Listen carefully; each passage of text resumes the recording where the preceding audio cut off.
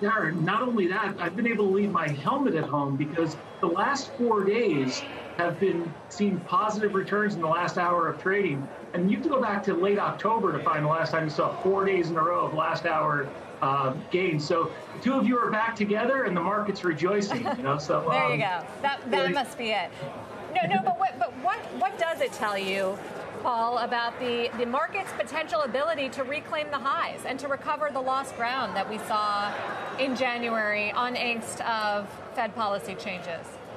So, I mean, anytime you see last hour strength in the market, uh, it's more of a willingness on the part of investors to hold overnight, and that's a positive signal uh, overall. But I think this market, we're going to, especially between now and March, I think we're going to see a lot of um, moves up and down. Uh, you know, when market gets too high, people will worry about the headwinds of the Fed, uh, fiscal and monetary headwinds, and valuations. But then when you get these pullbacks like we've seen in the last several weeks, uh, you know, not everything is bad, and you got to realize that the economy is still expanding. Uh, major averages has, have held up pretty well, considering the carnage you saw in the meme stocks and you know some of these uh, really high growth zero earnings companies.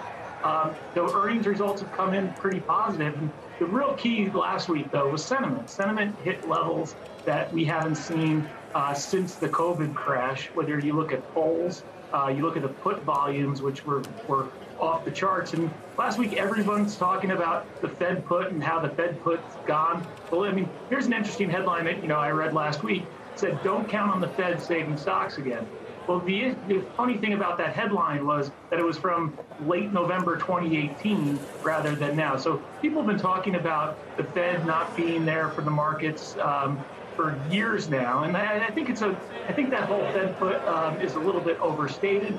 Uh, the Fed is certainly more hawkish now than it has been in prior years, but I, that's not the only thing that um, the market has to worry about. But I think between now and March, we'll see some oscillations until we find out what the Fed is going to do and get some more clarity until they move.